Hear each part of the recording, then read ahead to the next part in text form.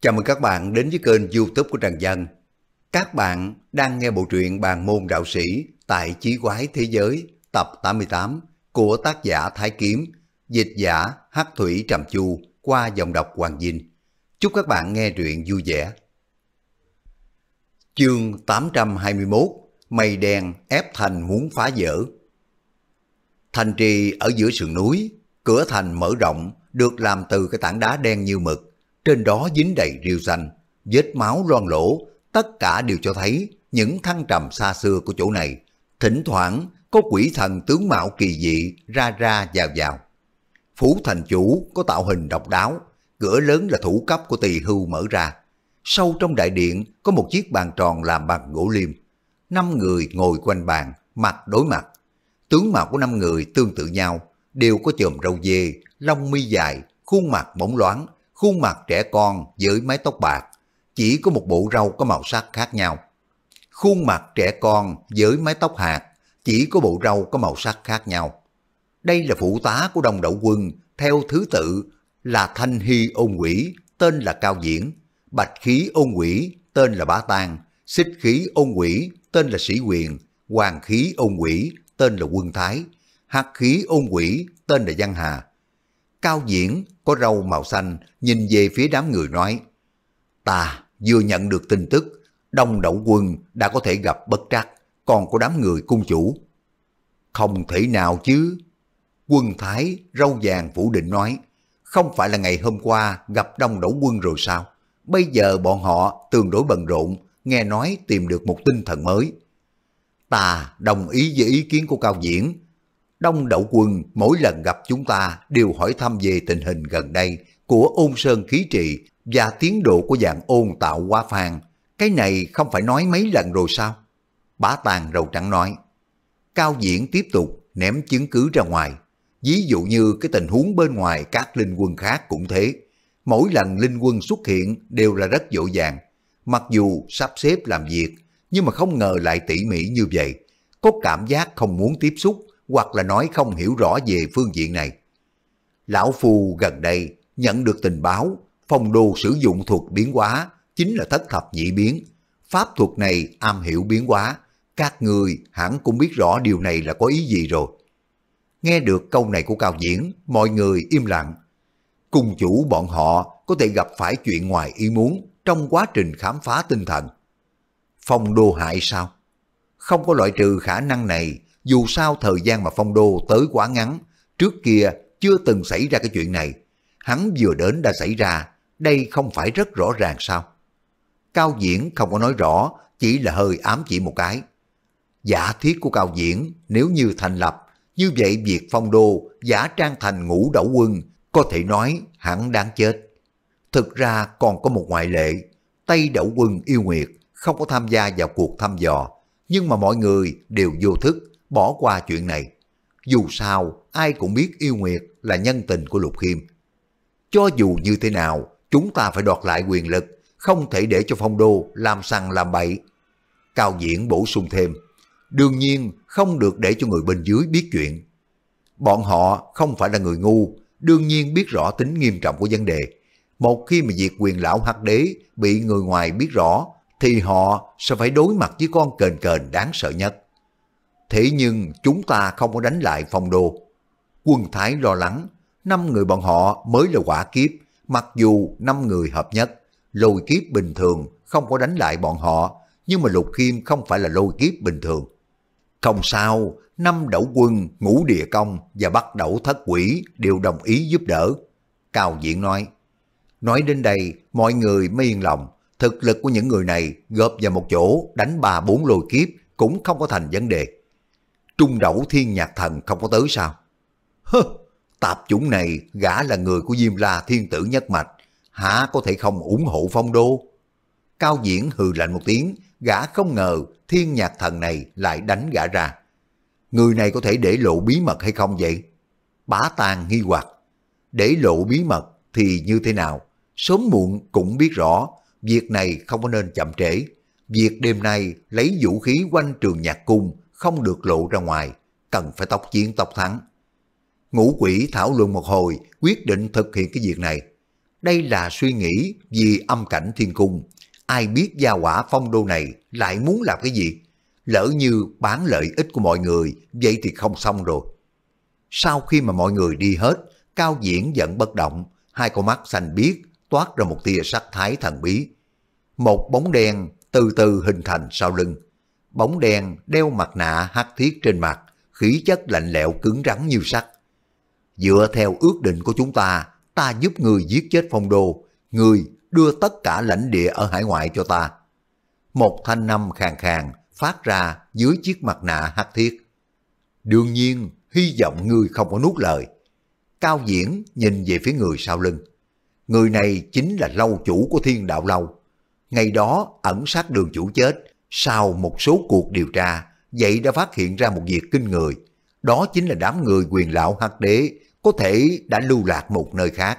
Nhất định trong một thời gian dài không có trở về được. Chương 822 Mây đen ép thành muốn phá vỡ Đám người lộ diện hôm nay rất có thể là lục khiêm giả trang. Với nghi ngờ như vậy, lâu chủ đã liên hệ với Cao Diễn có lòng dạ bất chính này. Sau khi hỏi một chút, quả nhiên những linh quân khác cũng có một chút dị thường. Hai người ăn nhịp với nhau, một người muốn giết lục khiêm, một người muốn thừa dịp cung chủ không có ở đây đục nước béo cò. Được, nói xong thiên đạo lâu chủ đã biến mất. Cao diễn trầm ngâm nhìn thân ảnh biến mất của lâu chủ, gã đương nhiên không có tin tưởng lời nói từ một bên của người này. Đám người quyền lão hắc đế 89 phần 10 xảy ra chuyện. Mấy ngày trước, gã cũng đã thăm dò rồi, xác định đông đảo quân này là giả. Lần này phối hợp với thiên đạo lâu, trước tiên giết chết phong đồ nhất mạch, mượn sức mạnh của bọn họ biến mình thành thủ lĩnh. Nghĩ tới đây, Cao Diễn vẽ một tấm phù chú lên không trung. Phù chú lóe lên một cái rồi biến mất. Biến mất ngay tại chỗ, trực tiếp bay về phía Dương Triều Câu Ly. Ý tưởng của gã là mượn sức mạnh của Dương Triều Câu Ly đạt được sự cân bằng với thiên đạo lâu. Cao Diễn làm thuộc hạ nhiều năm như vậy, nhuệ khí trong lòng đã sớm sang bằng. Bây giờ biết được cao thủ ở trong môn phái đã bị diệt toàn bộ, quả diễm trong lòng rốt cuộc không có thể áp chế nổi nữa. Diệt trừ phong đô và diêm la nhất mạch, tai họa trong lòng này là gã có thể đảo khách thành chủ. Vì thế, thiên đạo lâu và chó của Dương Triều Cầu Ly cũng không có quan hệ. Lần này cung chủ mất tích, người của những mạch khác hẳn là không có nhịn được nữa rồi. Cao Diễn nghĩ thầm, lần này thuận theo dân tâm cũng không phải là mong muốn của một mình gã. Ngày hôm sau, trường nhạc cung, hộ vệ đại điện, Giang Minh ở trong đại điện hơi nhắm mắt lại, khí thế dẫn dắt, ngang dặm lòng tờ tất hiện. Làm tướng lĩnh, thống lĩnh hộ vệ, Giang Minh ngoại trừ tu luyện, chính là trong đại điện này giám sát bốn phương, lúc này có một đám mây lửa bay tới. Đây là... Giang Minh mở hai mắt ra, hào quang ống ánh. Mây đen, liệt quả, cát vàng, khói độc từ bốn phương bao vây toàn bộ trường nhạc cung. Tốc độ rất nhanh, ngay cả Giang Minh không kịp phản ứng. Kẻ địch đã tập kích sao? Nghĩ tới đây, Giang Minh không khỏi dừng lại, bay tới Hoàng Kim Điện sâu trong đại điện. Đi vào trong đại điện, có hai thân ảnh đứng trong đại điện trống trải. Giang Minh nói những gì mà mình thấy bên ngoài. Lục Kim và người đối diện nhìn nhau cười một tiếng, như thể đã sớm biết rõ rồi. Giang đạo hữu, yên tâm, đừng có nóng vội. Khi mà Giang Minh nhìn thấy người đối diện là Lục Kim, lập tức chắp tay nói, bái kiến thiên nhạc thần đạo hữu. Người trước mặt này có tướng mạo kỳ lạ, làn da hiện lên một màu nâu xám, trên đầu treo một đống đá nát. Toàn bộ người như là tảng đá thành tinh. Người này chính là thiên nhạc thần, đại tổng quản dưới quyền trung ương tổng lục quân. Giang Minh không biết tại sao mà người này lại ở đấy. Giang Minh đạo hữu đã lâu không gặp. Thiên nhạc thần mỉm cười. Ta đã nói chân tướng mọi việc cho phong đô đạo hữu rồi, không cần phải lo lắng. Thì ra là thế, ta đã quá lo lắng. Giang Minh thay đổi lời nói. Đối phương khí thế hung hăng, đạo hữu có chuẩn bị ở sau cái gì không? Cần gì phải chuẩn bị, trực tiếp đánh là được, cũng không phải là không biết rõ đức hạnh của những người này. Kẻ địch là ai? Giang Minh bất ngờ nói, xem ra bọn họ biết rõ đối phương như lòng bàn tay. ngoại trừ đạo thống của Diêm La Thiên Tử và Tu La Sát Đạo. Câu nói này của Thiên Nhạc Thần làm cho Giang Minh kinh ngạc, không nói ra lời. Quả ra nội chiến chẳng trách đến nhanh như vậy, một chút phản ứng cũng không có. Không có đợi Giang Minh nói gì, bên ngoài truyền đến một tiếng nổ kịch liệt, toàn bộ Hoàng Kim Điện đã chấn động. Phong đô, ra đây đi. Âm thanh của Cao Diễn truyền đến. Thân hình của Lục Khiêm biến mất ngay tại chỗ. Bên ngoài chẳng biết đã biến thành đêm tối từ lúc nào. Bầu trời của dân khí ngũ sắc, mỗi một loại dân khí đại biểu cho một loại bệnh dịch của ngũ khí. Quỷ bệnh dịch của tướng mạo kỳ dị, đỉnh đầu chảy mũ, vết loét ở lòng bàn chân. Trừ cái đó ra, còn có năm ngọn núi khổng lồ cao lớn. Bên trên ngọn núi này, độc trùng bò lít nhà lít nhích. Đây là năm địa công của Nam Đẩu Quân. Quỷ của dạng trùng, độc trùng được sinh ra trong đất. Địa công quỷ có thể điều khiển vô số độc trùng. Ngoại trừ bầu trời và bốn phương, trên đại địa mọc đầy những cái thực vật đủ loại màu sắc. Những thực vật này cao lớn như núi, bụi gai khắp nơi. Gai trên đó cứng rắn như là pháp bảo vậy. Đây là thất quỷ mộc tinh của phương Đồng. Cao thủ của ba đại thế lực tụ tập ở đây chỉ là muốn cướp đoạt quyền lực của Lục Khiêm. Lục Khiêm! Lần này, ngay cả danh hào cũng không gọi. Một lão giả râu xanh đi dưới một đám mây xanh. Người này chính là Cao Diễn. Thành khí Cao Diễn sao? Không biết tới đây là muốn làm cái gì? Ngươi không biết nơi này là trường nhạc cung sao? Giang Minh tiến lên một bước quát hỏi. Chương 823 Thiên Nhạc Thần Lục Khiêm đừng cho rằng ta không biết rõ bọn người cung chủ đã bị ngươi hại rồi. Cao Diễn hừ lạnh một tiếng, cho dù như thế nào, đặt cái chậu phân lên đầu của Lục Khiêm trước rồi mới nói người có động cơ khó dò, giả trang thành các linh quân, xúc phạm nghiêm trọng đến giới luật của thiên cung, còn không mau mau, bó tay mà chịu trói đi. Ba dạng sáu ngàn quỷ thần, ai phục tùng ngươi? Lúc này có một lão đầu, trên mặt bò đầy côn trùng đi ra. Đây là hoàng thủ công, tên là Khắc Nguyên. Lục Khiêm không có nói gì, lẳng lặng đợi đám người thảo phạt, nghe được câu này cười nói, không phục ta, vậy bắt đầu từ các ngươi trước, giết! Bắt âm phong đô sơn, lăn không đè xuống, không khí đã bị đè ép, phát ra từng tiếng nổ đùng đoàn. Năm ngọn núi côn trùng ở phía dưới, ầm ầm rung động, ngàn dạng độc trùng nhào nhào nổ tung dưới áp lực của không khí. Chất lỏng màu hồng màu vàng bay tứ tung, trong không khí quanh quẩn một cái mùi hôi thối nồng nặc, dân khí ngũ sắc tuôn ra, hình thành từng cái dòng xoáy. Cái này, con người của Cao Diễn co rụt lại, trong lòng kinh hãi đến cực điểm. Gã biết rõ Lục Khiêm rất mạnh, nhưng mà không ngờ mạnh đến tình trạng này. Đa số quỷ thần bên trong dân khí đều bay thành tro tàn. Pháp thuật của đối phương cũng không lọt đã đạt đến trình độ này. Lúc này bên trên Bắc âm phong đô sơn truyền đến một lực hút. Cao diễn cảm giác thần thế không tự chủ được bay lên. Mọi người cùng nhau xông lên giết hắn đi. Năm người đồng tâm hiệp lực, năm đạo dân khí hình thành một vòng tròn giống như là luân hồi không ngừng, chuyển động, tốc độ càng lúc càng nhanh. Cuối cùng, năm loại màu sắc đã biến thành màu trắng. Tốc độ xoay tròn, làm lực hút của Bắc âm phong đô sơn yếu đi không ít. Dân khí màu trắng bắn ra một cột sáng trắng tinh. Cột sáng rộng 10 trượng, dài trăm trượng, trực tiếp bay về đám người của Lục Khiêm. Còn chưa có tới trước mặt, Lục Khiêm có cảm giác sinh mệnh chậm rãi trôi qua. Nguyên khí pháo sao? Quả nhiên không tầm thường.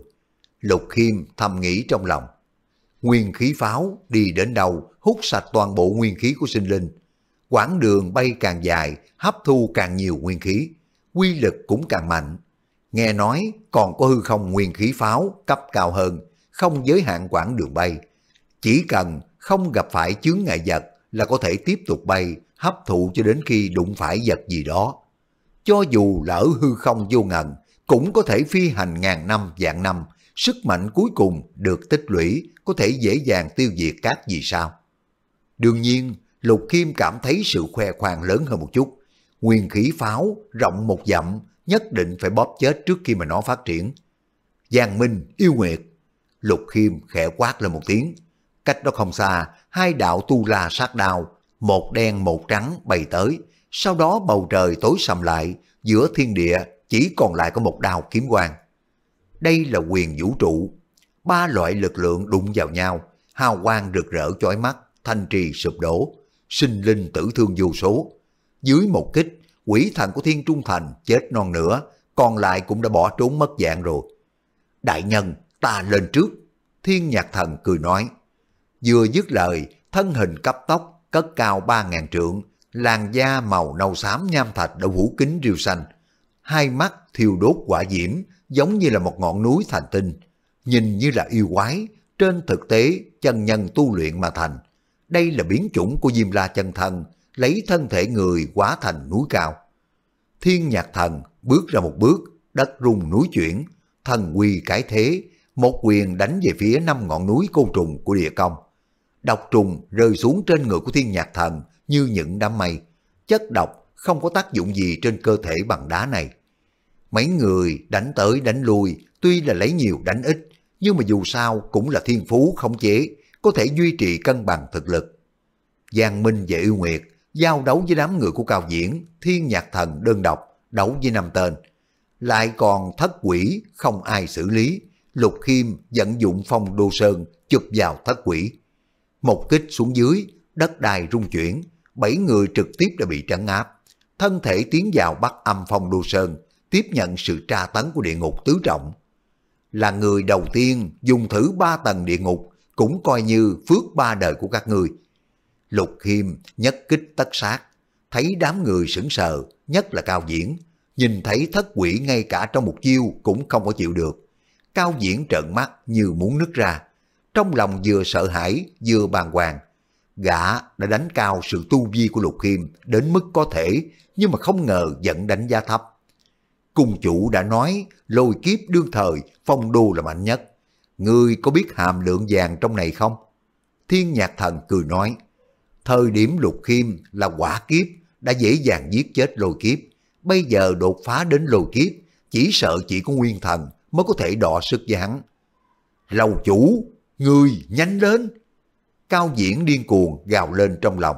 Lục khiêm mạnh hơn cũng chỉ là lôi kiếp. Gã không tin ngay cả nguyên thần cũng có thể đánh thắng được.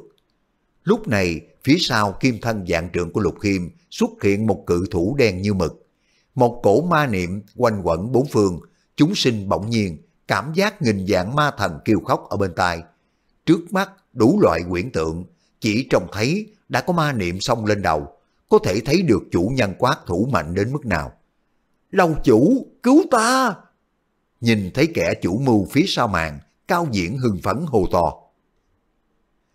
Chương 824 Phiền não ma đầu Cao diễn vô cùng có lòng tin.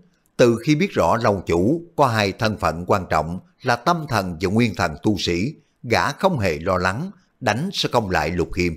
Khoảnh khắc thiên đạo lâu chủ xuất hiện, toàn bộ thế giới trở nên ảm đạm. Trước mặt mọi người đều xuất hiện của quyển tượng khác nhau. Loại quyển tượng này, người bình thường căn bản chống cự không được. Một khi mà rơi vào quyển cảnh, bản thân chỉ có thể mặc cho người khác sắp xếp. Đây chính là thực lực của lâu chủ thiên đạo lâu. Làm cao thủ tránh giữ của thiên đạo lâu, có thể làm được những điều mà người khác không thể. Trước kia, thậm chí chiến tích tiêu diệt toàn bộ một môn phái. Phong đô, Lục Khiêm bỗng nhiên quay đầu, nghe thấy có người đang gọi mình, chỉ thấy một cự thủ đen như mực phía sau, có một đôi mắt, đôi mắt nhìn sâu trong khoảng không, ánh mắt thầm thúy, tràn ngập quyển tượng, không có bất kỳ tâm tình gì, giống như yêu, giống như thú. Phong đô sao? Thanh Năm lại hỏi một lần nữa. Nhìn thấy Lục Khiêm không có bị quyển tượng lây nhiễm, thiên đạo lâu chủ trong lòng hơi bất ngờ. Cũng có một chút nóng lòng không đợi được, lòng kiên định vững vàng như vậy, một khi đã bị phá vỡ, hiệu quả và lợi ích mang tới to lớn không gì sánh được. Lục Khiêm có vẻ hơi nghi hoặc một chút. Phong đồ, ngươi nhìn xem ta là ai? Thanh năm du dương mang theo một tia mê hoặc. Bên trong hư không, tất cả những người mà Lục Khiêm đã từng sợ hãi trong cuộc đời của mình đã xuất hiện. Đạo sĩ Mạc Lương, Thông U, Phục Ba, Thiên Hà. Lục Khiêm dường như quên mất mình là ai. Lại một lần nữa, thời gian mình giống như xiết đi trên dây đồng kia. Một lần nữa trải qua những cái việc đã xảy ra trước đây một lần, mà kết quả còn tệ hơn. Ở trên núi, hắn đã bị mặt lương nhìn thấu, chặt đứt tứ chi, làm gậy gọc, thống khổ 10 năm mà chết. Hắn đã bị thông u bắt lấy, rút gân lột da, đặt ở bên trong u quả, đốt cháy 300 năm. Đây đều là kết cục mình thất bại. Mục đích là gì để cho nội tâm của mình xuất hiện sơ hở? Chỉ cần xuất hiện một tia sợ hãi hoặc chần chờ, ma niệm sẽ thôn phệ chính mình trong nháy mắt. Ngoại giới, trong mắt của mọi người không biết tại sao Lục Khiêm lại ngồi xếp bằng trên mặt đất. Hai mắt nhắm nghiền, quanh thân quanh quẩn hắc khí, linh quang chợt sáng chợt. Linh quang chợt sáng chợt tắt, làm cho người khác rất là lo lắng. Đại nhân phải sống đấy. Thiên nhạc thần dùng một quyền đánh bay đối thủ trước mặt, trong lòng thầm nghĩ. Gã đặt toàn bộ hy vọng của Diêm La Thiên Tử nhất mạch lên trên người của phong đô. Đám người cao diễn, cõi lòng tràn đầy hy vọng, cảm giác đại quyền của âm cảnh thiên cung đang dãy gọi mình. Chỉ cần đoạt được đại quyền, thiên đạo lâu cũng có gì phải sợ. Gã đã liên hệ với đốc dương của Dương Triều Câu Ly. Bằng lòng lấy lãnh địa hải ngoại đã hứa cho thiên đạo lâu làm điều kiện che chở. Thay vì tin vào một tổ chức sát thủ không có điểm mấu chốt, còn không bằng tin tưởng đối thủ cũ chính là Dương Triều Câu Ly. Lúc này vẻ mặt của Lục Khiêm trong đám người không ngừng biến hóa, hắc khí càng ngày càng nhiều, dường như đã không chịu nổi rồi. Lâu chủ thiên đạo lâu núp trong bóng tối, mừng rỡ trong lòng, lại có thể ăn được rồi. Lục Khiêm đột nhiên mở ra hai con mắt, trong mắt hiện lên một đạo tinh quang, đôi mắt trong sáng, làm sao có thể có tình huống tâm phiền ý loạn vừa rồi. Thật xin lỗi, ngươi đã bị lừa rồi, đa tạ ngươi giúp ta luyện tâm. Lục Khiêm cười to, ngươi... Không đợi thiên đạo lâu chủ nổi giận, sắc trời đã thay đổi. Một dòng xoáy cực lớn, đen như mực, xuất hiện trên đầu của Lục Khiêm. Sức hút từ dòng xoáy hút toàn bộ ma khí từ trên người của Lục Khiêm. Bên trong hư không, thiên đạo lâu chủ không tự chủ được đã bị hút ra. Không, ngươi đến cùng là ai? Đây là một nho sĩ tuổi trẻ tóc trắng, mày trắng, lúc này ánh mắt của gã tràn đầy kinh quản. Nói xong, gã đã bị hút vào trong dòng xoáy. Sâu trong dòng xoáy là một thế giới với bầu trời xanh tươi. Một nam tử áo trắng ngồi trên bàn đá, những con dê đen xung quanh, cúi đầu gặm cỏ, sừng dê có cắm đầu lâu. Cũng có một số quấn quanh rắn độc. Cảnh tượng rất là quái dị. Thiên đạo lầu chủ nhìn thấy người này giật mình trong lòng. Nhìn kỹ hơn, trái tim đang treo lên đặt xuống. Quả ra là người đồng đạo, ngươi rất có tự tin đối với đạo hạnh của mình nha, vậy mà để cho ta tiến đến. Thiên đạo lâu chủ từng bước tới gần, không cần nhìn mặt, cả hai giống nhau đến kinh ngạc. Lý độ lúc này xoay người lại, dùng ánh mắt nhìn qua. Cơ thể thiên đạo lâu chủ bất động, không thể động đậy, sau đó gã cảm thấy đạo hạnh trôi qua nhanh chóng. Lực lượng toàn thân giống như bị một thứ gì đó cuốn đi. Không thể nào, ngươi... Đạo hạnh của ta bình thường có đúng không? Lý độ lúc này mới đứng dậy đi đến trước mặt thiên đạo lâu chủ, không thể động đậy. Luyện khí thì luyện khí, tu tâm thì tu tâm, quả ma cũng mới quá có một nửa. Chần chừ, chiếu cố ba người coi như bỏ qua, hoàn toàn trái ngược, còn không bằng không tu. Chương 825 Phiền não ma đầu Vừa dứt lời, toàn bộ thân thể của thiên đạo lâu chủ nổ tung. Mặt của Lý Độ không ngừng thay đổi, khi thì biến thành chính lão, khi thì lại biến thành thiên đạo lâu chủ. Bỏ ra cả buổi công phu mới đè cái thứ đồ chơi này xuống được. Quả ra là một phiền não ma. Phiền não ma là một loại ma thông qua đạo hạnh của người xấu để mà đạt được ma đầu của mình. Là một loại ma tương đối khó đối phó. Người người đều có phiền não, có phiền não thì dễ dàng bị lợi dụng. Nếu không phải là đạo hạnh của gia quả này thiếu hụt, lý độ nhất thời không có giải quyết được người này trong một khoảng thời gian. Đạo hạnh lại có tiến bộ rồi. Lý độ thầm nghĩ.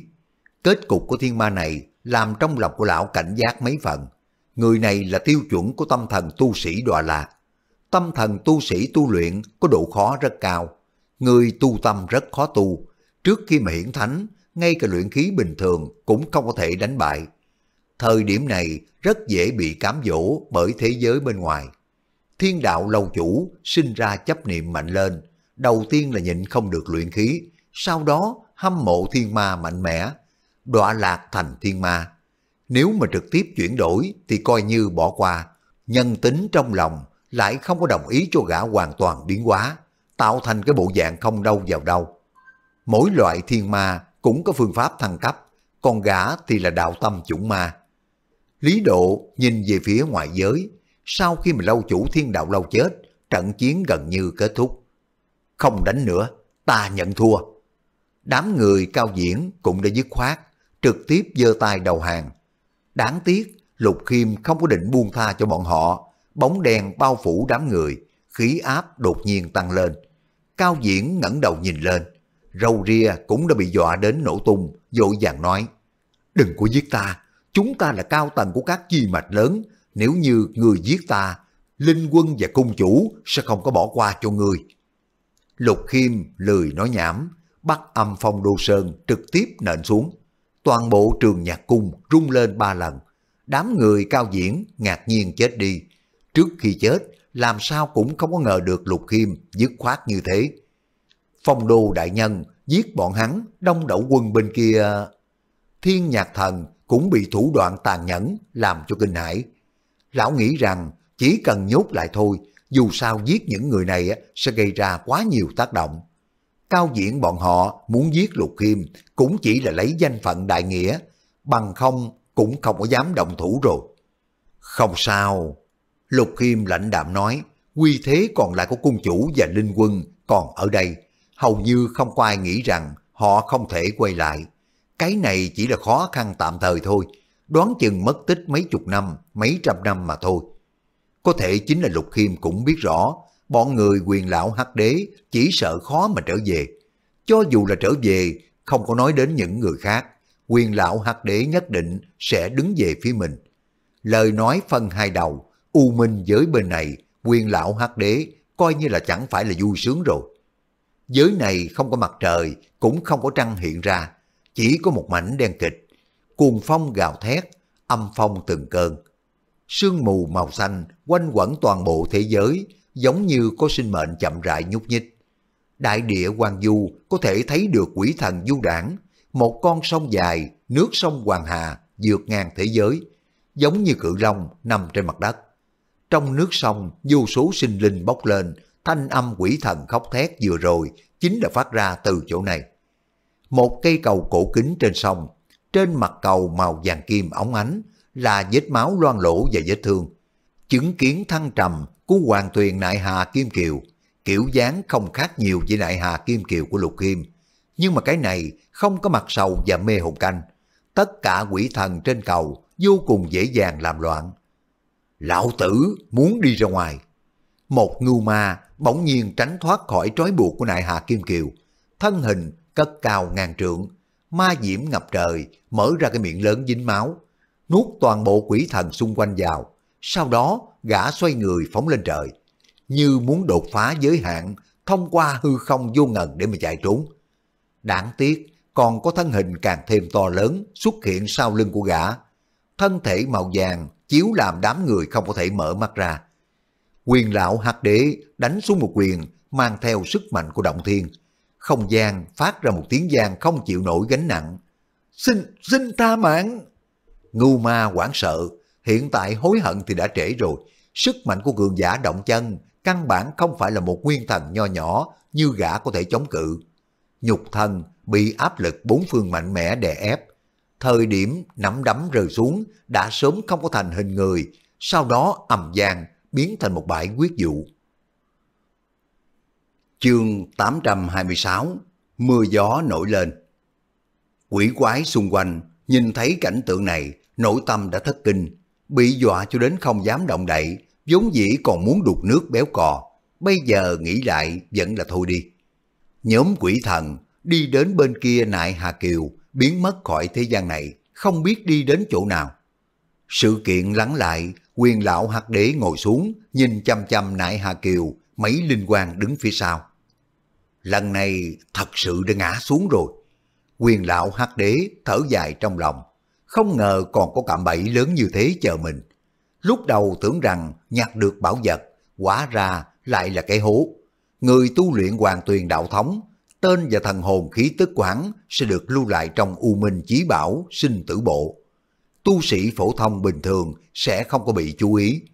Nếu như là thiên tài tuyệt đỉnh hoặc là tu sĩ động chân kỳ, vậy thì có người tìm tới cửa. Lần trước mục tiêu quát bạch vô thường đúng là mình. Nếu như trong phạm vi thống trị của U Minh, thậm chí sau khi chết, linh hồn đều sẽ bị U Minh câu đi. Cũng không biết tình huống hiện tại của thiên cung thế nào. Cổ Thường thiên thở dài thật sâu. Dương Triều Câu Ly, Ngọc Kinh Sơn còn có trung dực thiên địa quyền môn, Mai Sơn Đạo, những cái môn phái này có hiềm khích rất lớn với thiên cung. Lần này biết được chúng ta mất tích, chỉ sợ là... Đông đậu quân không có nói hết, hậu quả đã rõ ràng. Không chỉ có toàn bộ môn phái đã bị thôn tính, khả năng người sống cũng sẽ không còn lại mấy người. Chớ của bi quan như vậy, ta cảm thấy phong đô sẽ giúp cho chúng ta giấu giếm một đoạn thời gian. Người này mưu kế sâu xa, ta tin tưởng hắn. Phương Đồng nói, giấu giếm là có thể giấu giếm, quy thế còn lại của chúng ta vẫn còn ở đó, nhưng mà cũng không có lừa được bao lâu, vẫn nên nghĩ làm sao mà trở về đi. Quyền lão hắc đế cười khổ nói, có động chân xui xẻo hơn gã không? Vừa mới tấn thăng không có được bao lâu, lại đụng phải cái loại này. Nếu như không có gì bất ngờ xảy ra, đời này có thể phải ở lại đây, một ngày lại một ngày, bảo vệ hoàng tuyền nại hà Kim Kiều. Là một con chó giữ nhà, bây giờ còn có một chút ý thức của bản thân. Chờ thêm một thời gian nữa, hoặc là tu vi tăng cường, nâng cao một bước, hoặc là mất đi ý thức của bản thân, biến thành một cái xác không hồn, cuối cùng tuổi thọ hết, chết già. Kỳ hạn này là 12 dạng năm, động chân kỳ tu luyện ra động thiên, tiếp xúc với sức mạnh của vũ trụ, đại khái có thể sống 12 dạng năm. Đây là tuổi thọ đại khái của một tiểu động thiên, còn được gọi là kỷ nguyên. Nếu như bên trong một kỷ nguyên không thể siêu thoát, chỉ có thể ở đây để mà dày dò tới chết. Thật ra ta có một biện pháp, không biết có thể thành công hay không. Nam Đậu Quân bỗng nhiên nói, ánh mắt của quyền lão hắc đế hiếp lại, nhỏ giọng bàn bạc với mọi người.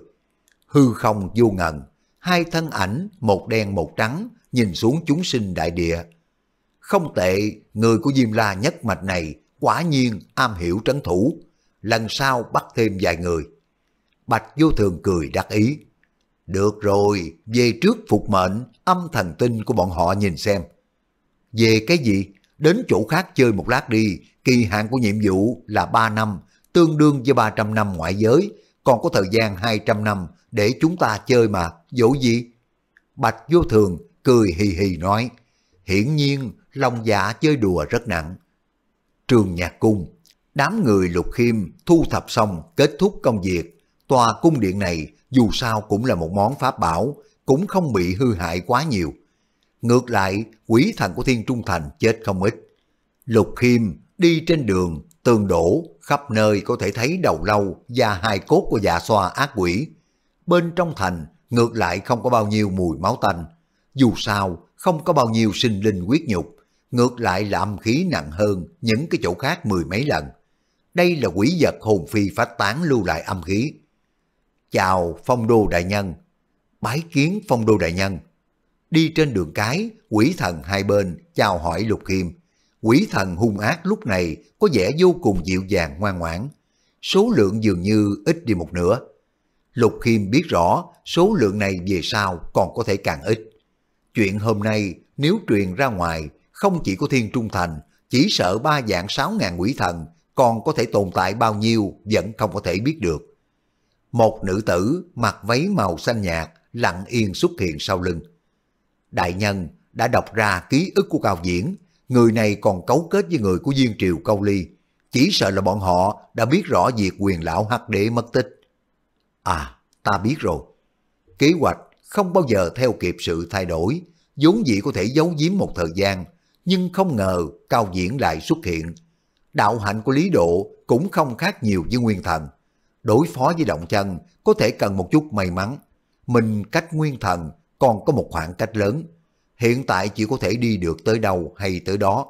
Thật sự không được thì chạy trốn. Có được thất thập nhị biến, chạy trốn không có bất cứ vấn đề gì. Rất nhanh, tin tức quyền lão hắc đế cùng với các vị cấp cao đã mất tích, trình lên trên bàn của từng đại lão.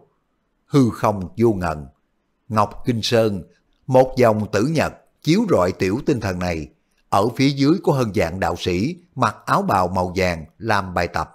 Hơi thở thành mây, vẽ bùa như mưa, giống như một khung cảnh tiên gia. Chương 827 Thấy thế nào về việc ở rễ? Quyền lão hắc đế đã mất tích sao? Còn của ta, di phụ sẽ lấy sinh mệnh của phong đô và âm cảnh thiên cung cùng tất cả quỷ thần chung cùng với con. Còn có cầu ly, ngươi chờ đó cho ta. Một tiếng cười to vui sướng truyền khắp bốn phương. Đây là tiếng cười của Trung Nguyên tử quân. Ngày đó đi cầu ly thần dương đã bị hai người bọn họ áp đảo. Hôm nay nhất định phải báo thù, không chỉ có như thế, còn phải chiếm cơ nghiệp của bọn họ. Thiên địa quyền môn, câu hồn ngự quỷ, Mai Sơn Đạo, nuôi quỷ cản thi đều đã biết được tin tức. Cả hai phái đều có những mâu thuẫn không có thể hòa giải cùng với âm cảnh thiên cung. Lần này bọn họ cũng ngoa ngoe muốn động, trừ cái đó ra còn có thế lực khác muốn kiếm một chén canh, muốn cắn một miếng thịt từ trên người con hổ bệnh âm cảnh thiên cung. Về phần đương gia làm chủ phong đô lục khiêm hiện tại, không có ai đặt một lôi kiếp vào trong mắt. Dương Triều cầu ly trong triều đình lộng lẫy, một quan cầu lớn lơ lửng phía trên mọi người. Đây là thần niệm của câu ly thần dương. Thân là động chân, gã có con đường khác biệt. Gã đã biến động thiên và thân thể thành dương triều, quyệt dị là thành thị, kinh mạch là đạo lộ, nhân dân quá thành quyết dịch, tu sĩ làm xương cánh tay, tu luyện tới chỗ cao thâm. Dương triều truyền thừa ngàn dạng đời. Mình cũng có thể sống ngàn dạng đời, Đồng thời, người tu hành bên trong dương triều có thể trả về một bộ phận tu vi cho mình. Câu ly thần dương, lặng lẽ nghe thủ hạ nói. Như thế, như vậy, quyền lão hắc đế khẳng định không có ở đây, lại thêm gần xảy ra nội chiến, tu vi của âm cảnh tiên cung thấp cho đến cực hạn. Chúng ta bây giờ phát binh nhất định có thể nuốt hết bọn chúng. Nghe thủ hạ báo cáo, trong lòng câu ly thần dương ngũ vị tạp trần, cứ như vậy mà kết thúc rồi sao? Hai người đấu dạng năm lại lấy loại kết cục này mà kết thúc sao? Câu ly thần dương hiểu rõ, một khi mà nuốt quyền hành của âm cảnh thiên cung, đối phương cho dù thế nào cũng không có đánh lại mình. Tốt, tối ngày mai tập kết đại quân, Tố Nga đâu? Câu ly thần dương chợt nhớ tới cái gì? Mấy ngày trước đã trở lại, hiện tại hẳn còn đang bế quan. Gọi nàng ra đi, ta có việc tìm nàng nói chuyện. Câu ly thần dương khác với những thế lực khác. Các thế lực khác muốn có đất mà không có người. Câu ly thần dương cái gì cũng muốn. Một dương triều đứng đầu không chỉ có muốn quản người, còn muốn quản thiên quản địa. Trời và người đều có thể quản, nhưng mà địa phủ cần nhân sĩ chuyên ngành. Đám người của Dương Triều câu ly, mỗi người quản lý chức vụ của mình, kim chức không có thể nào phát triển tác dụng. Câu ly thành Dương coi trọng Lục kim Nghĩ tới đây, gã nhìn về phía Đốc Dương nói, nghe nói Tố Nga và Lục Khiêm có quan hệ rất tốt sao? Đúng, hẳn là như vậy, lão phu thấy bọn họ thường xuyên luận bàn. Lục Khiêm cũng không có hạ tử thủ, ngược lại cố ý chỉ điểm. Bệ hạ, công chúa tuổi tác cũng không còn nhỏ, Lục Khiêm chưa từng hôn phối, ngài xem... Đốc Dương phản phất biết rõ ý tứ của câu ly thần Dương, nên đã chủ động đưa ra. Đại nhân vừa tỏ thái độ, bọn thuộc hạ nhao nhao góp lời. Thần tán thành, nghe đồn phong đô này là tân tú của âm cảnh thiên cung, được quyền lão hắc đế kỳ vọng cao, tuổi không có lớn lắm, tư chất rất tốt, hiện tại còn là trưởng quản của âm cảnh thiên cung. Nếu chọn làm phò mã, có thể nói nhất cử lưỡng tiện. Chúng thành của Dương Triều Câu Ly có ấn tượng rất tốt với Lục Khiêm. Mặc dù trước đây giết mấy đồng liêu bên mình, nhưng mà giết không phải là cha hắn, làm gì mà nếu lấy không thả. Nếu bệ hạ đã có ý như vậy, bọn họ cũng thuận nước đẩy thuyền. Được, để ta nghĩ xem, nhất định phải khảo nghiệm xem người này có thành tâm không. Đốc Dương, trước đừng có phát binh, lát nữa gọi người này tới, bãi triều. Dân, đám người lui ra. Trường Nhạc Cung, Hoàng Kim Điện. Trong đại điện trống trải, lơ lửng một mảnh đất, rộng ba thước vuông. Nếu đất là ngọc, tầng trên là hoàng thổ, tuy dáng vẻ nhỏ bé, nhưng mà cảm giác uy áp không kém gì cự phong che trời. Đây là bắc âm phong đô sơn, dung hợp nại hà kim kiều, 28 chân lực và thiên địa đại ma bàn phong đô sơn đủ để cho Lục Khiêm ở cảnh giới này đánh đầu thẳng đó. Bên trong phong đô sơn, tầng thứ nhất, trường xà thiết cẩu địa ngục. Quan trọng nhất chính là tòa kim cung. Cung này trước là diễm tâm kim cung. Lục Khiêm ngồi xếp bằng, xung quanh không có thứ gì. Từng sợi tinh khí hư không, đen như mực, theo miệng mũi chạy khắp toàn thân. Bên ngoài kim cung, một cái dần trăng sáng, như ẩn như hiện. Dưới ánh trăng là một con dao lòng, đôi mắt của dao lòng dường như hơi nhắm lại. Dưới thân có một dòng sông màu vàng, nước sông Hoàng Tuyền sóng lớn mãnh liệt, ngàn dạng thần quỷ trôi nổi bên trong. Cảnh tượng này như là muốn từ hư biến thật. Đây là giao phục Hoàng Tuyền Đồ. Lục Khiêm không quấy định dùng truyền thống Diêm La trấn ngục pháp dực, gút mắt với Hoàng Tuyền càng sâu, ngày sau càng khó xử lý. Đây là giáo huấn được Đại Từ Tôn tổng kết. Chương 828 Thấy thế nào về việc ở rễ Bên trong bắt âm Thái quyền chế ma hát luật linh thư ghi chép. Mỗi người tu hành hoàn tuyền đạo thống, tin tức đều sẽ trên sinh tử bộ. Nếu như muốn thoát khỏi hoàn tuyền, nhất định phải xóa tên của mình đi. Nhưng mà sinh tử bộ là chi bảo của hoàn tuyền thiên tử. Hành động này không khác gì đoạt thức ăn trước miệng cọp. Nhưng mà Đại Từ Tôn tìm ra phương pháp khác. Đó chính là nhờ Hoàng Tuyền xóa thông tin của mình đi. Như vậy, thông tin trên sinh tử bộ sẽ vô hiệu. Đáng tiếc vừa mới xóa đi tên thật, đã bị Hoàng Tuyền Thiên Tử phát hiện. Đánh gã, xém một chút hồn phi phát tán. Đương nhiên, nếu không phải là Hoàng Tuyền xóa đi tin tức của gã, chỉ sợ Đại Từ Tôn sớm đã bị bắt được. Mấu chốt nhất là mối quan hệ của Đại Từ Tôn và quan Tuyền quá sâu. Rửa sạch tin tức tốn không ít thời gian, cho nên mới bị người phát hiện. Nếu biến giao phục quan tuyền đồ thành lĩnh vực, hành động này có được hay không đây? Lục Khiêm nghĩ trong lòng, nếu dùng giao phục hoàng tuyền đồ để mà làm lĩnh vực, kết hợp với đặc tính thôn phệ dạng vật của hoàng tuyền đế long, nhất định sẽ là một lĩnh vực xuất sắc. Càng nghĩ, Lục Khiêm càng cảm thấy có thể thí nghiệm một chút, trong lòng có đầu mối. Sau đó ăn vào một bất lão khuẩn giá trị ngàn dạng, dược lực của âm dương thuần túy chảy khắp toàn thân. Nguyên thần bên trong đan điền, phần lớn đã biến thành màu vàng ống rồi.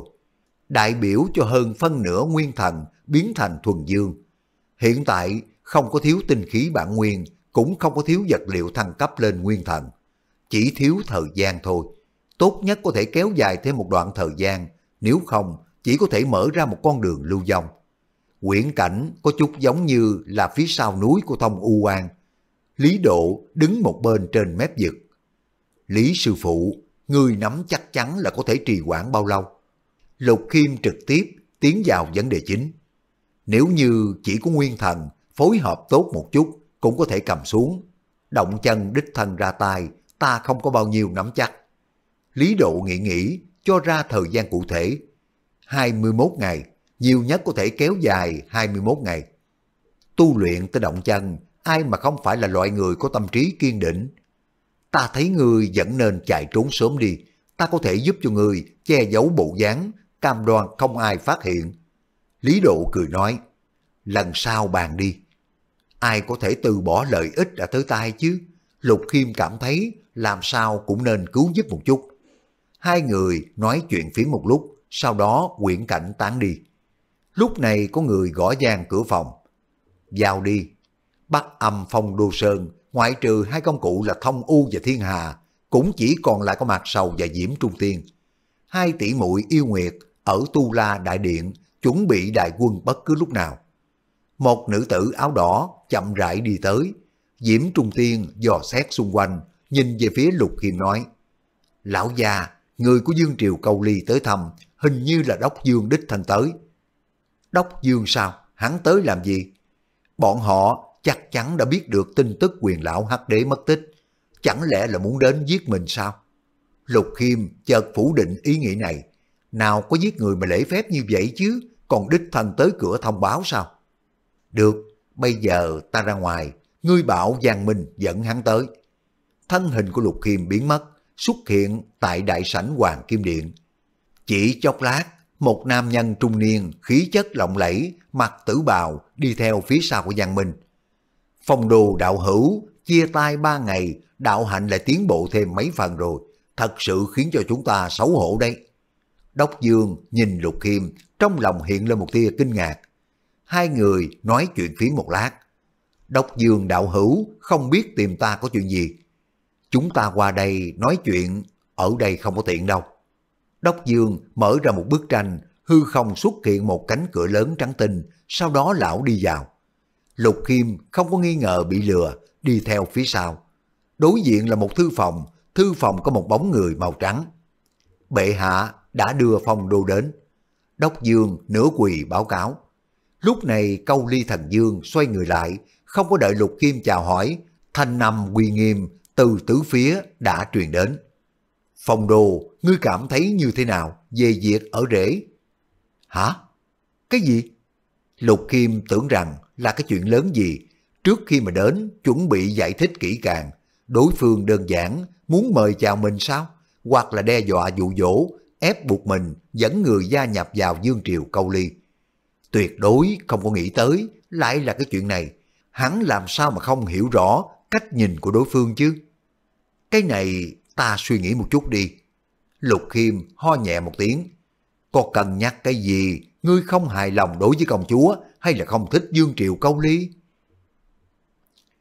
Chương 829 Thương thiên đẫm máu và nước mắt, dạng quỷ bi thống. Độc Dương dựng râu trừng mắt, như thể một lời không hợp sẽ ra tay hạ cái người này xuống. Quan ảnh trước mặt hừ lạnh một tiếng, một cổ khí thế khổng lồ cuốn tới. Lục Khiêm sắc mặt như thường, không kiêu ngạo, không tự ti nói. Chúng ta vẫn nên đi vào chủ đề chính đi. Bệ hạ muốn mời chào ta, có điều kiện gì? Hoặc là nói tại hạ cần trả giá cái gì? Đều là lão yêu quái sống trên dạng năm, không có khả năng bị tình cảm che đậy lại tâm trí. Ở trong đó nhất định đã bao hàm lợi ích trao đổi rồi. Đã như vậy, Trậm cũng nói luôn, ngồi xuống trước đi. Bóng người màu trắng trước mặt, chỉ chỉ cái ghế bên cạnh, Lục Khiêm không một chút khách khí, tiến lên ngồi xuống. Tố Nga đối với người rất có hảo cảm, đây là sự thật. Sau khi mà cưới Tố Nga, ngươi sẽ là phò mã của đương triều. Trẫm chỉ có một nữ nhi như thế. Ngươi tuy lỡ rễ, nhưng mà không khác gì nhi tử. Thời điểm trẫm không qua ở đây, ngươi chính là giám quốc. Dưới một người, trên dạng người. Thần Dương chính là tồn tại cao cao tại thượng, thống trị tam giới thiên địa nhân. Thiết nghĩ sau này, thần đình đứng ở trên cao, phàm nhân có hoàng đế phàm nhân, âm phủ có âm gian dương giả. Tam dị nhất thể, quyền hành nằm trong tay của thần dương. Cầu ly cũng sẽ không có kiểm soát được mọi thứ và quyền hành này sẽ trao cho người khác chấp hành. tổ Nga là hoàng đế Phạm Giang, Lục Khiêm là âm gian dương giả. Đây cũng là trạng thái tốt nhất mà cầu ly suy nghĩ trong lòng. Một khi mà hoàn thành, như vậy gã đem lĩnh ngộ vũ cực chi lực, toàn bộ dương triều đột ngột mọc lên từ mặt đất, mang theo 365 thành, thổ địa trong bán kính 10 vạn dặm và 200 ngàn quốc dân kiên quyết ngồi lên phi thăng. Lấy thổ địa là tinh thần, gã chính là chủ nhân của tinh thần, thọ cùng trời đất. Mà điều kiện rất là đơn giản, ngươi giao ra một chút mệnh hồn là đủ rồi. Lời nói hời hợt, nhưng người biết chuyện, biết rõ điều kiện này rất hà khắc. Đây cũng không phải là một lời thề hoặc quyết chú gì. Cả hai còn có phương pháp phá giải. Mệnh hồn tương đương với trái tim của một người. Giao trái tim cho người khác, chẳng phải là chịu cho người khác hiếp sao. Đừng có nhìn điều kiện của đối phương vô cùng phong phú, ngày sau đổi ý cũng không có gì được người ta. Điều kiện này ta không có thể nào chấp nhận được. Lục Khiêm cự tuyệt gọn gàng dứt khoát. Vậy thì tốt, chúng ta lui một bước, ngươi không cần phải giao ra mệnh hồn, chỉ cần lưu lại một chút chân linh ở bên trong thần dương phục ma đồ. Câu ly thần dương nói, gã cũng không có trông cậy vào lục khiêm sẽ bằng lòng. Chỉ là thuộc đàm phán thôi, gian phòng quá mờ, cần mở một cái cửa sổ, có người nhất định không cho phép. Nhưng mà nếu như chủ trương quỷ nóc nhà đi, họ sẽ đứng ra hòa giải, bằng lòng mở cửa sổ. Hư không xuất hiện một quyển trục. Quyển trục mở ra, là hình ảnh của thần Dương dẫn đầu quần thần trấn áp ngàn dạng yêu ma. Nhìn kỹ, bộ dáng của ngàn dạng yêu ma này có một chút giống với ba dạng sáu ngàn quỷ thần của âm cảnh thiên cung. Hai người tương ái tương sát đã đến trình độ này rồi sao? Không được, cái này không khác gì với hoàng tuyền sinh tử bộ, mặc dù không có khủng bố như mệnh hồn, nhưng lại càng dễ không chỉ người khác hơn quyết chú. Đốc Dương bỗng nhiên nói ra, đúng rồi, có lời mời nhắc nhở một cái, lão phu nhận được tin tức, Ngọc Kim Sơn và Thiên Địa Quyền Môn làm giao dịch, ít nhất hai tháng bọn họ sẽ đến. Một đại thế lực không có thể nói làm là làm, rút dây động rừng, bắt đầu định ra mục tiêu, lại phân chia lợi ích các bên, thời gian hai tháng đã là cực kỳ xem trọng. Ngươi xác định không cân nhắc một chút sao? Câu ly thần dương hư lạnh một tiếng. Đại quân của trẫm đã tập kết rồi, không quá ba ngày nhất định hạ được tám phần âm thổ của ngươi. Không cân nhắc, cao ly đạo hữu xin cứ tự nhiên. Lục Khiêm lần này không có lấy thân phận giảng bối, xưng hồ cũng đã thay đổi, hiện tại là thân phận đương gia của âm cảnh thiên cung để mà nói chuyện. To gan, có tin ta đưa ngươi vào thiên lao không? Nghe được xưng hô của Lục Khiêm, Đốc Dương giận tím mặt. Pháp tướng sau lưng ngoò ngoe muốn động, câu ly thần dương nâng tay phải lên, khí thế của Đốc Dương tỏa ra. Ngươi, đi đi. Nói xong, câu ly thần dương, một chỉ điểm ra. Hư không hiện ra một cái cửa lớn trắng tinh, Lục Khiêm không nói một lời, đi thẳng vào. Đốc Dương khó hiểu nói, bệ hạ, vì sao mà không thừa cơ hạ người này? Quy vọng của phong đô gần với hắc đế và đông đẩu, giết người này ba dạng sáu ngàn quỷ thần không có ai quản thúc, đối với thiên hạ cũng là một loại nguy hại. Câu ly thần dương dừng một chút nói thêm, người trẻ tuổi không có trải qua ngăn trở, trước cho hắn một chút giáo huấn, đợi ngày khác Ngọc Kim Sơn và những người khác đến. Đợi đến thời điểm mà bọn họ chống đỡ không nổi, chúng ta ra tay thu hoạch cũng không muộn. Lục Khiêm cho dù như thế nào cũng không có thể đánh lại động chân. Kết quả sau cùng chính là Đức Quảng Sương Sống ngoan ngoãn nhận thất bại về mình. Bệ hạ anh Minh Chương 830 Sau khi trở về, bọn người của Yên Nguyệt Giang Minh lên hỏi thăm. Đàm phán không thành, chuẩn bị chiến đấu đi. Lục Khiêm cười nói, hắn từ đầu đến cuối không cân nhắc đến cuộc sống ăn nhờ ở đậu. Tu hành muốn là tự do tự tại. Nếu như không có tiêu sái tự tại, như vậy tu luyện còn có thú vị gì? Nếu mà hắn thỏa hiệp với người khác, chỉ sợ bây giờ đang là một chấp sự dưỡng thần, không có tiếng tâm gì ở thông u quan. Giang Minh cáo lui, đệ nhất vô lượng trở về tiếp tục sửa chữa pháp trận, chỉ có hai tỷ muội ở lại. Ba người tiến vào Bắc Âm Phong Đô Sơn. Yêu Nguyệt Tập Nguyệt, đoạn thời gian này các ngươi đi theo ta tu hành. Nghe thấy ý nghĩa trong lời nói của Lục Khiêm, khuôn mặt của Tập Nguyệt hơi đỏ lên, mà Yêu Nguyệt thì lại là kích động. Mây đen che khuất lưu ly nguyệt. Dưới ánh trăng, hai ngọc thể hơi phát ra quỳnh quang. Mặt sầu buồn bực ngán ngẩm ngồi ở đầu cầu, nhìn thoáng qua, sắc mặt đỏ bừng xoay qua chỗ khác. Diễm Trung Tiên gắt một tiếng, cảm giác thân thể như nhũng ra một chút. Bỗng nhiên có một lực hút mạnh mẽ hút hai nữ nhân đi. Hai người các ngươi cùng nhau đi. Thời gian hai tháng tương đương với sáu tháng thời gian trong phong đô sơn. Thời gian là miễn cưỡng coi như đủ rồi. Cùng lúc đó, Lục Khiêm bay ra một đạo thần niệm bay vào chỗ sâu trong trường nhạc cung. Đừng quên, trường nhạc cung là bản mệnh pháp bảo của quyền lão hắc đế, đồng thời cũng là quyển hình pháp bảo sinh ra linh ý. Chỉ là chủ nhân mất tích, cho nên quyển hình chưa từng xuất hiện thôi. Lục kim lần này là tới bàn bạc, nhìn xem có thể hay không mượn dùng lực lượng một chút. Thời điểm một nam bốn nữ trầm mê tu hành, một bên khác, Dương Triều Cầu Ly cũng có động tác. Giết! Một tên đại tướng thân mang mặt thú thôn Kim Khải mang theo thiên binh thiên tướng xông thẳng về phía quỷ thần phía dưới. Thủ lĩnh của quỷ thần trong nháy mắt đã bị giết. Nhóm quỷ thần hốt quảng chạy trốn, thiên binh truy sát phía sau. Sau một tháng, Ngọc Kinh Sơn, Thiên Địa Quyền Môn và Mai Sơn Đạo liên hợp xuất binh. dẫn đầu đi về phía ba lãnh địa ở hải ngoại của âm cảnh thiên cung. Ba dạng sáu ngàn quỷ thần và thuộc hạ cô hồn quan giả đã bị giết thất linh bát lạc. Chỉ có một bộ phận may mắn bỏ chạy. Trong một thời gian, cả ngày đều là âm khí mưa máu. Tin tức quyền lão hắc đế mất tích truyền đến trong tay của tất cả quỷ thần. Vô số quỷ thần thúc thích kêu rên, thương thiên đẫm máu và nước mắt, dạng quỷ bi thống. Cũng có người hô quán cao thủ duy nhất còn lại đến hiện nay là Lục kim Hải ngoại, dị quả đại địa. Nơi đây, mây đen bao phủ quanh năm, tất cả không có mặt trời. Thay vào đó, từng núi lửa phun trào quả diễm đủ mọi màu sắc. Trên núi lửa, vô số diêm chủy thiết thú lượng dòng. Đàn thiết thú giống như là mây đen, thỉnh thoảng có một số thiết thú rơi xuống miệng núi lửa, uống nham thạch giống như uống nước.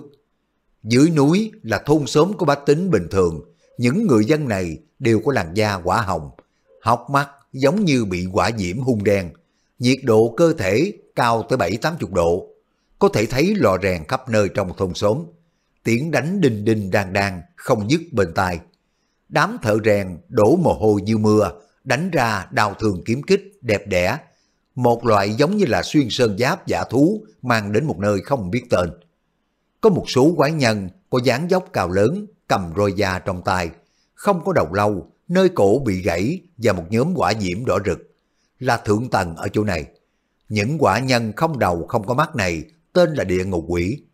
Những người này là những người may mắn còn sống sót khi bị diêm trụy thiết thú nuốt vào trong bụng. Bởi vì đi một lượt trong bụng của diêm trụy thiết thú làm cho bọn họ có được dị năng điều khiển quả diễm và nham thạch. Tài chân nhanh nhẹn một chút, đừng có để đại nhân thiên cung chờ sốt ruột. Đầu lâu quả diễm của địa ngục quỷ truyền đến âm thanh. Đám thợ rèn nghe vậy càng thêm ra sức. Đại địa có dị quả thiếu lương thực, các đại nhân thiên cung không có bao giờ thiếu lương thực, mà lại ra tài hào phóng, làm nhiều được nhiều, mặc dù là địa ngục quỷ rất ghét. Nhưng mà vì kiếm tiền, nhiều nhất cũng chỉ quán thầm trong lòng. Lúc này, địa ngục quỷ cao 10 trượng, trên cổ là một ngọn lửa màu xanh vô lại từ trên trời giáng xuống. Bãi kiến thanh liên đại nhân. Đây là địa ngục quỷ, phó quan thanh liên đóng quân ở đây của âm cảnh thiên cung.